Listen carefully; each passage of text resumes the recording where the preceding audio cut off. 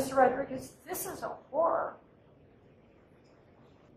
I know as a judge I'm not supposed to show emotion. And in 22 years, I never have. This is one of the worst things I've ever seen in my life. My name is Scott Rodriguez. All he told me was that the kid was buried in the backyard. Now, that's all I know. And the kid in question, I don't know what his name is, but I guess he has a lot of problems. So he was crying when he told me, and that's what made me kind of believe sincerity, but I was never able to verify directly. But I know I couldn't sleep at night. He said him and his girlfriend told the older kid that he was staying with his with her sister, who also has a special needs kid,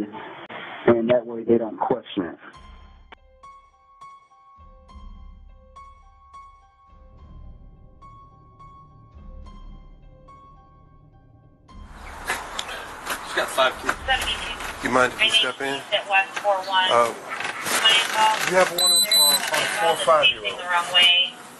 Code 1. how old are your children? four? Okay. You just turned 24. Is it a boy? A girl? What? Hello, boy. A boy. What's the boy's name? Anthony. Okay. Um, see if you can get a name. Is there anything? Well, we got a call say, uh, want us to check on the on the uh, well-being of the uh, five-year-old, four to five-year-old. Oh, my kids are good. Okay. What can we see? They're like, Okay, I believe you. don't mind me. But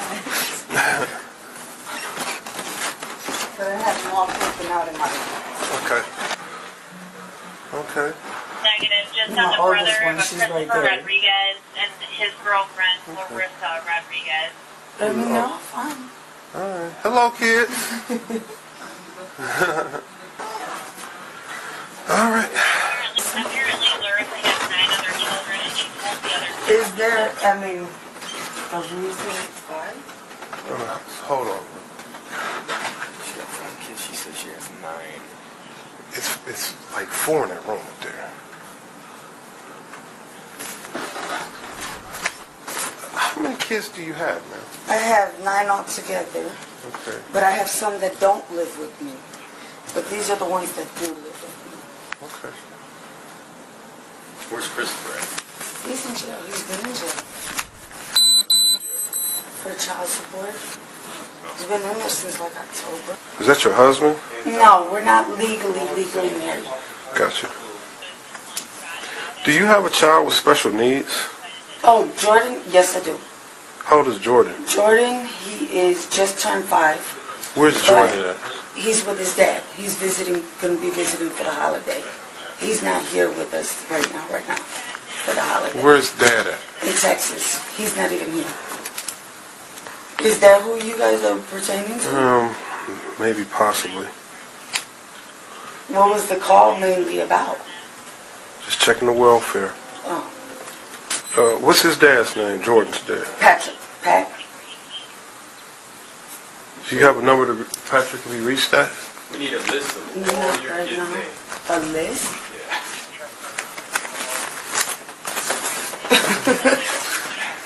Can I get a pen? Sure. Or you could tell me. Here, I'll write it down because First- it's a lot easier. Okay. Firstborn, all the way down the line. Supposedly the Jordan is with Dad Yes, in he's Texas. with that. Um, We can call him. yeah. Huh? Right now, I don't have the number because he was going to get a new number.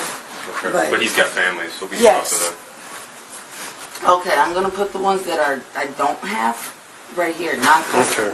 hmm Where are they at? What- Those- These ones are, he went to foster care. One's with the uh, grandmother. Mhm. Then I have the other one who took dad took custody.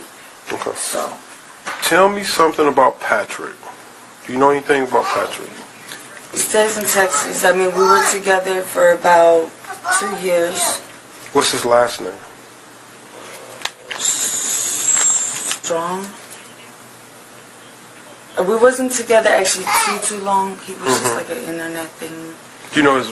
Do you know his um like when he was his birth date or anything? No, that I did not. You know, we, What's Jordan's last name? Rodriguez. He took it from me. Man, I would really love to get in touch with Jordan. Okay, okay, is there any way I can give you, when I find the number to contact you? Kids you got? I got two. Any of the kids disabled? Uh, he's not really disabled, but that's the one that's with his dad. No? No, Okay. Oh, what do you mean? he's just SSI. He don't, he can't talk. How old is he? He's he just turned five. Okay. That's the Where one. does he live? He's Texas. staying. Not he doesn't live there, but he's just visiting for the holiday. Um, what, in Texas? Yeah, And where he usually lives here? yeah. Okay. What, uh, what, you got a family members in Texas? I'm gonna. That's why I said, is there a number or something where I can contact you guys? How long he's been, has he been in Texas? No, you Texas? can get it now. It's not a big deal. We'll wait. Right. How long has he been in Texas? He's been o- only over there for a couple weeks because he goes over there to you know visit and stuff like that. Wha- Wait a minute, he goes where to? Huh? No, no. He goes. Yeah. He goes. to- I want to say sperm donor, but he goes to Texas to visit. yeah. He's been. He goes there. He went there last year. Went there this year. Okay. Because uh, he just goes to visit family out there. But I mean, other than that, he's here. So so Jordan has he has family members in Texas. Yes, yes. All right. Do you know any numbers or any how to get in touch with anybody who actually lives in Texas? I mean, right now, his phone just got disconnected. What's his address? I'm waiting for him to call me. What's his address? I I don't mean, you know just didn't send the kid to who knows who, right? I mean, no. I mean, I don't know the address personally because me and his dad don't really associate like that. But you let him go with him, right? Right, he just had his phone disconnected. He's gonna be calling me with the phone number. So, and that's the only way I can contact him.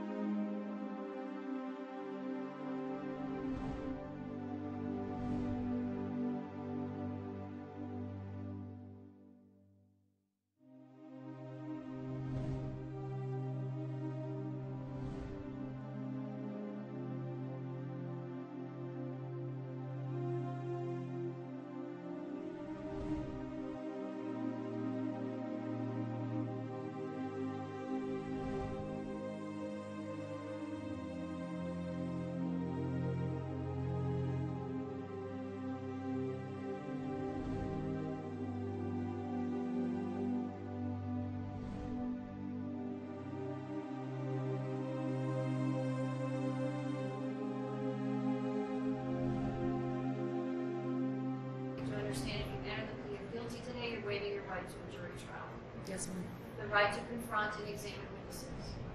On behalf of Jordan's extended family, we want the court to know that we not only loved him, but we attempted to intervene on his behalf of all of the children.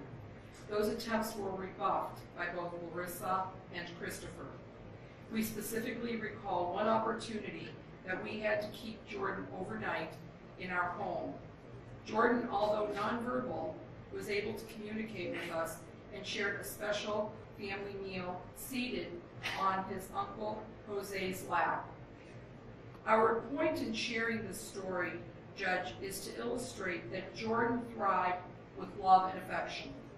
He was delayed in his cognitive development, but he clearly showed his love by running to his Uncle Jose when he came home from work. Jordan was a special, sweet little boy who would have developed and bloomed into a special soul. It is our deepest sadness to have this sweet boy's life extinguished and buried in an unmarked grave. As a family, we love Larissa because she too is our family. However, we can never reconcile ourselves with her deeds. We hope that you take our thoughts into consideration when you hold Jordan's parent accountable today. He was born 26 weeks premature and had a whole host of medical issues. He was born with one functioning kidneys and other heart and breathing issues. He was enrolled at Cleveland Metropolitan School District, where they actually tried to help with an IEP and help with his developmental delays because he was, of course, nonverbal. Jordan was withdrawn by his mother on September 13, 2016, and told officials at the school that he was moving out of state. She told Detective Remington, this is what happened on September 21st. While getting the kids ready for school, Christopher brought Jordan in to the bathroom where he was in a semi-conscious state. She tried to revive him with a cold shower. And then she laid him in bed for 24 hours. She woke up the next morning of September 22nd and he was dead. Larissa and the defendant Christopher decide to dig a hole which is four foot by four foot. They wrap him in numerous blankets, garbage bags, duffel bag, and bury him in the backyard. When he came out of the bag, he had a diaper on him, he had a pajama top, and some shorts. And the reason for showing you these photographs, Judge, is to show you the time and the energy that it took to bury this child versus dialing 911 for help. She claims that this little that she herself has suffered abuse at the hands of Christopher Rodriguez and that that abuse transferred to her kids. But she would never go any further than that to articulate anything else. There was a wrist fracture, and then there were healing ribs, six, eight, ten on the right side, and eight on the left side. Those are most consistent with child abuse according to our medical examiner. She obviously took the time to have him wrapped over and over again. And you will see in one of those photographs, there are mothballs in that bag. And those mothballs, Your Honor, are to keep away rodents and animals. Would you like to speak? We don't have to feel pressure. Thank you. Have you seen the pictures I just saw? I've seen all the pictures and more, Your Honor. This is a very well thought out burial. Your Honor, again, we, anytime a negotiated settlement is, is reached, it's our acknowledgement that facts sufficient to establish proof beyond a reasonable doubt of the elements of the crime to which we enter pleas exist. We do not adopt one version or another of what exactly the choreography of any person's role. I would suggest to you, Your Honor, does that mean you don't adopt theory? well, because I will say that I believe that the other defendant is largely responsible for everything that happened after that child expired. That's all, Judge.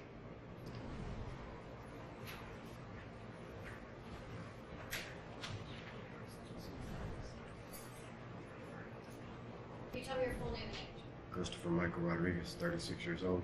Your Honor, the time that Mr. Rodriguez, Miss Rodriguez, took the time to bury this child instead of dialing 911 is abhorrent to me. Not only did they put a pull-up over his head, they also put mothballs. That takes a lot of time, energy, and effort to think of those things. So I think their actions speak louder than words. Mr. Rodriguez, do you want to speak? You don't have to if you don't wish. Respectfully, no, Your Honor. I want to say to the police, to the detectives Remington and Diaz, I certainly know that your job is very difficult. And I look at these photographs,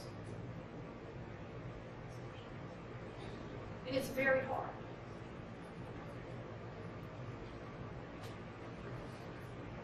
And I think you should be recognized more for the difficulty of what you do. Mr. Rodriguez, this is a horror.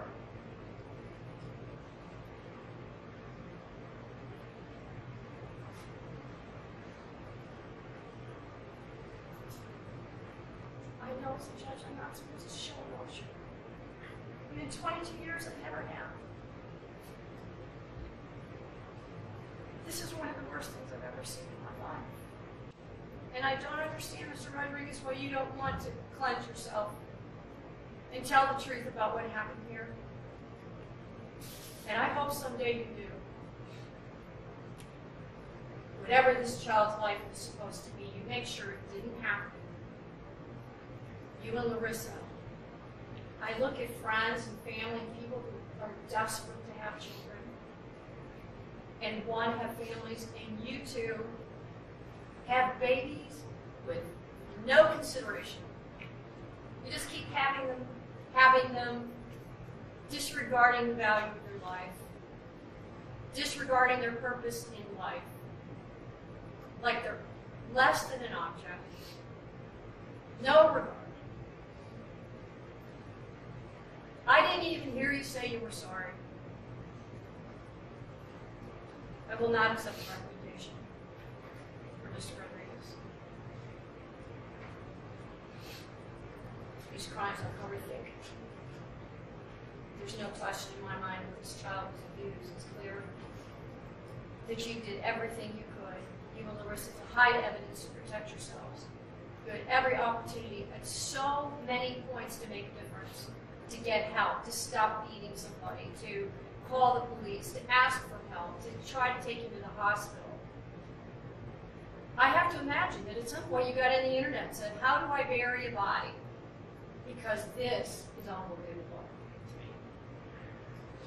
The level of meticulousness that you went through to not be discovered. I honestly don't know how you did it yourself. I, I don't know how either one of you did it yourself. That's a total sentence of 28 years. It's the maximum sentence available. Real quick.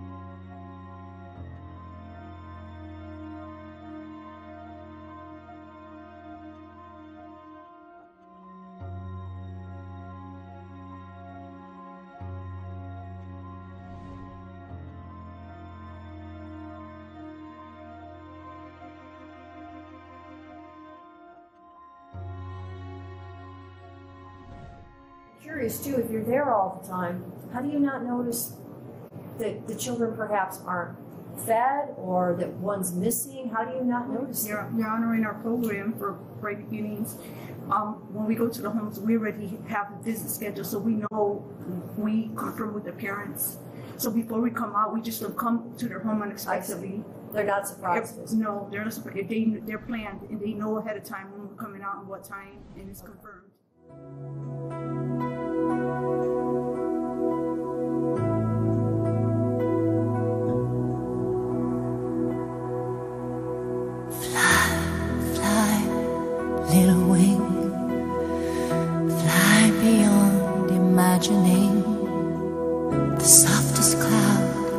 The dove, upon the wind of heaven's love. Past the planets and the stars, leave this lonely world of ours. Escape the sorrow and the pain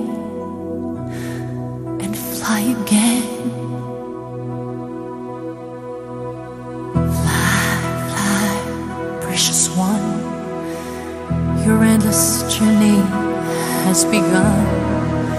Take your gentle happiness, far too beautiful for this. Cross over to the other shore. There is peace forevermore. But hold this memory bittersweet until we meet. Fly, fly, do not fear.